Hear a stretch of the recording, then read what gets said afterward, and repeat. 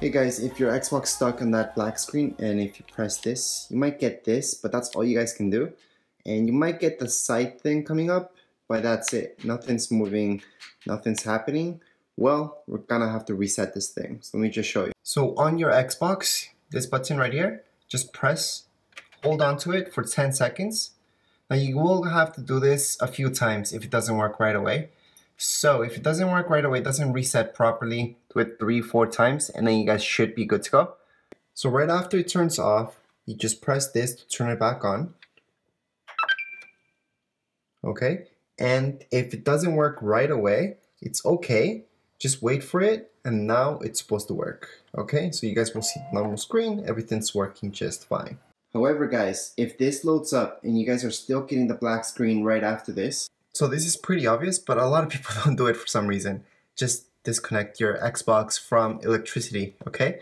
Alright guys, so I'm turning on my Xbox again. Something I forgot to mention, depending on what problems you guys have, if you just get a black screen, that's all you guys get, not really a menu, it turns on properly, well, maybe it's your HDMI cable. Just try a different port on your actual TV, okay? And then try another HDMI cable if maybe that's the problem. Also, if you guys have the gaming side, so just take it out for now, okay? Right now that you're powering it on and you have problems, just take out the disc and then start it back on.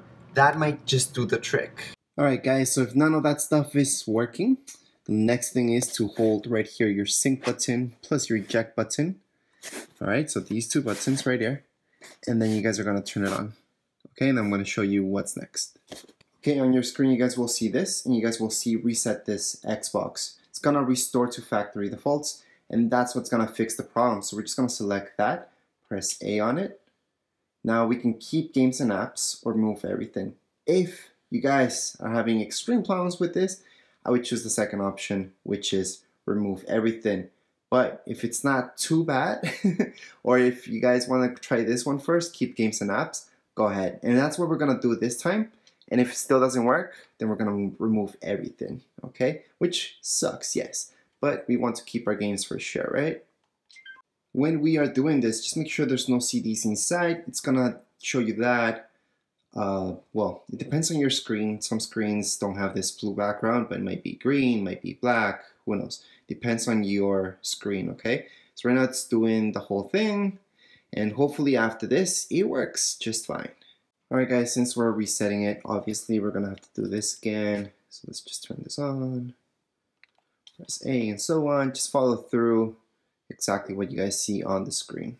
So after it starts up, you guys are supposed to see this. If you guys see a black screen again, don't worry about it. Just turn off your Xbox, so just shut it down and then turn it back on. Once you guys turn it back on, you guys will see this. That's what happened in my case. So I'm just gonna sign in and do everything that I do. It kind of sucks that you do have to sign back in and all that stuff, but at least the games are still there, right? Alright guys, so after you do the whole setup, this is what's going to happen. Now there could be other problems online as well, you can't sign in or something like that. Don't worry, just check out online if actual Xbox Live is working at the moment. And that's it. Hopefully this takes care of your problem. That's it for this video tutorial. If you guys have any questions, comments, you guys can write them down here in the comments area. And don't forget to subscribe and rate. Thank you.